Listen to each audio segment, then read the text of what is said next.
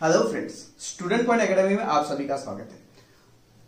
Friends we are going to learn today Dobereiner आज हम डोबे राइनर के बारे में पढ़ने वाले हैं। डोबे राइनर्स और उन्होंने जो एलिमेंट्स को क्लासिफाई किया, उनके क्लासिफिकेशन को ट्राइड्स कहा गया और क्यों ये कहा गया, वही हम इस वीडियो में पढ़ने वाले हैं।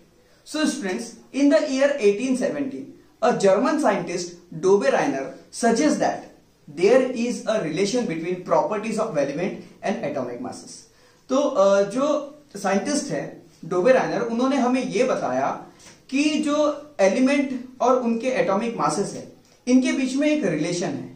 और इसी बात को प्रूव करने के लिए या इसी बात को ध्यान में रखते हुए उसके अकॉर्डिंग डोबे राइनर ने बनाए थ्री एलिमेंट के ग्रुप जिनकी केमिकल प्रॉपर्टी सेम थी। मतलब सेम केमिकल प्रॉपर्टीज़ वाले एलिमेंट को लिया। And he place them in ascending order और increasing order according to their atomic masses मतलब जो भी एलिमेंट उन्होंने लिए, उन उन तीन तीन के एलिमेंट का उन्होंने ग्रुप बनाया और उस ग्रुप के एलिमेंट को उन्होंने असेंडिंग ऑर्डर में रखा।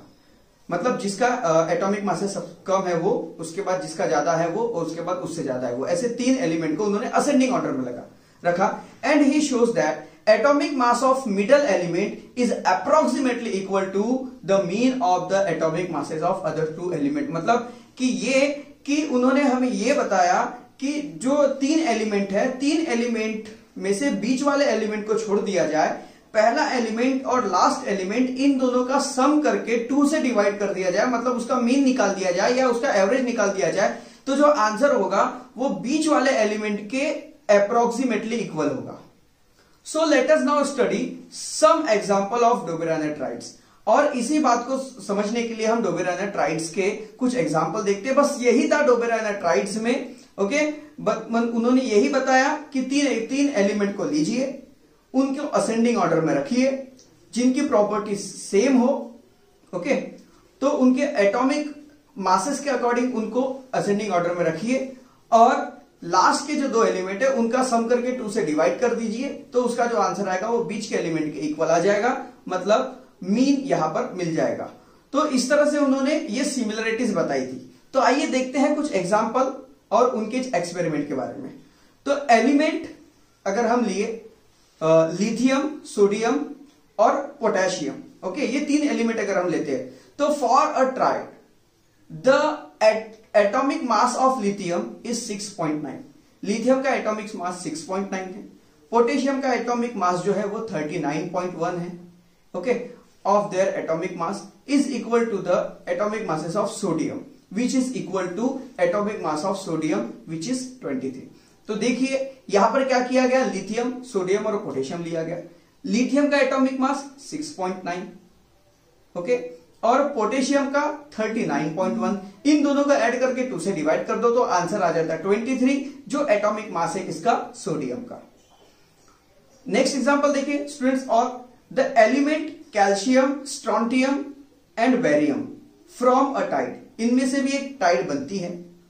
Calcium is 40.1 barium is 137.3 and the mean of their atomic mass is 88.7 and it is approximately equal to the atomic mass of strontium, which is 87.6 तो देखिए, यहाँ पर भी क्या किया गया है? कैल्शियम, स्ट्रॉन्टियम और बेरियम को लिया गया कैल्शियम और बेरियम, इन दोनों के एटॉमिक मासेस का सम करके उसे टू से डिवाइड कर दिया जाए तो उसका आंसर आता है 87.6 जो 88.7 के अप्रोक्सीमेटली इक्वल है।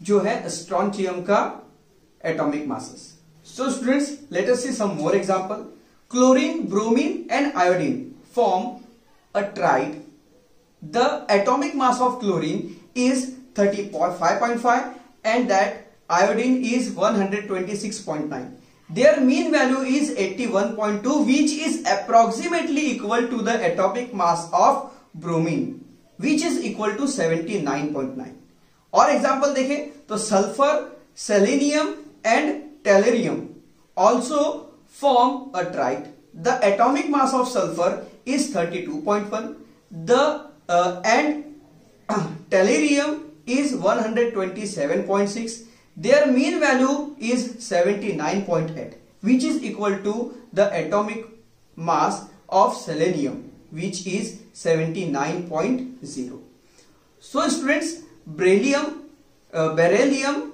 magnesium and calcium form also trite. Atomic mass of beryllium is 9.0 and the atomic mass of calcium is 40.1 their mean value is 24.5 which is equal to atomic mass of magnesium which is equal to 24.3 now let us consider the atomic mass of magnesium. तो students इसके पहले जो हमने example देखे, ये सारे के सारे एग्ज़ाम्पल डोबेराइनर की ट्राइड्स को फॉलो करते हैं। आइए अब कुछ और एग्ज़ाम्पल देखते हैं। Now let us consider the atomic mass of magnesium calcium and strontium and find whether they form triads अब देखते हैं कि भाई ये जो तीन एलिमेंट है, क्या ये तीन एलिमेंट ट्राइड बनाते हैं? The atomic mass of magnesium is 24.3 and the atomic mass of strontium is 87.6 their mean value is 55.9 this is value is not equal to the atomic mass of calcium which is 40 अब देखिए अब इन दोनों में कोई भी matches uh, नहीं होते हैं। मतलब यहाँ पर सिमिलरिटी शो नहीं हो रही है। मतलब यहाँ पर तीन सेम प्रॉपर्टीज़ के केमिकली जो प्रॉपर्टी शो करती है, उसके अगर हम एलिमेंट ले ले ओके और इनको इनका अगर मीन निकाल ले तो यहाँ पर इस एग्ज़ाम्पल में डोबेराइनर की ट्राइड्स फॉलो नहीं करती है। This shows the element magnesium calcium and strontium is a not follow the Dobereiner triads ये डोबेराइनर के ट्राइड्स को या ये डोबेराइनर के रूल्स को फॉलो नहीं करते।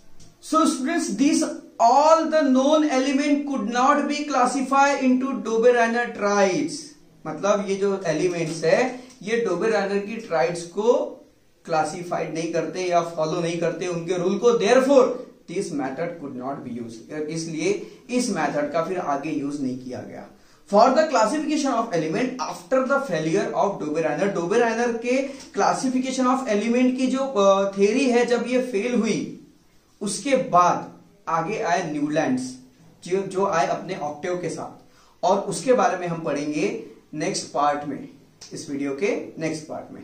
तो फ्रेंड्स आज के इस वीडियो में इतना ही।